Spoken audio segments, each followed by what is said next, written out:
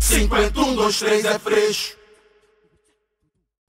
Algumas coisas são naturais, se tornam naturais. Nós nos acostumamos a elas e elas se tornam parte da rotina, para o bem ou para o mal.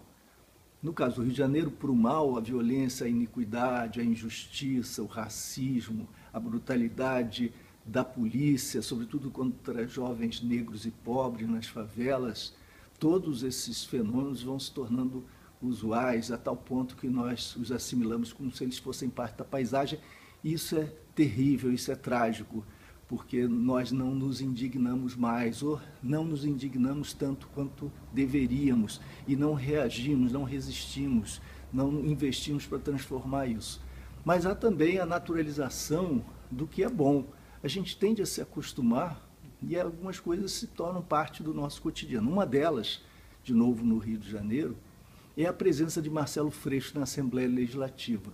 Isso se tornou parte do nosso cotidiano e a parte boa, virtuosa do cotidiano. Sempre que surge uma violação grave, nós nos lembramos do Marcelo, nós telefonamos para o Marcelo, ele está sempre acessível, está sempre alerta, de madrugada, durante o dia, a qualquer hora.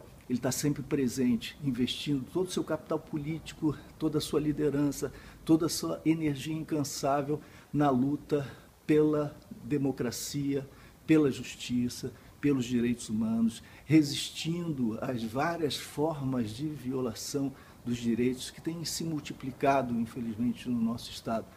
Só que a presença de Marcelo, que passou a ser decisiva para nós na Assembleia Legislativa, não é natural. A gente não colhe da árvore como um fruto.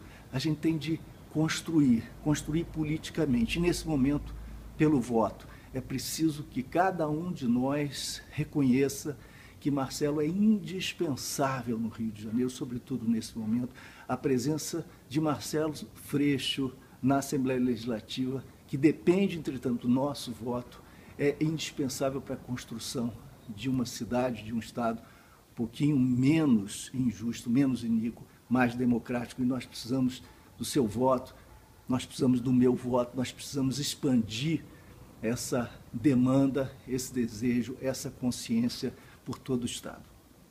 51, 2, 3 é freixo.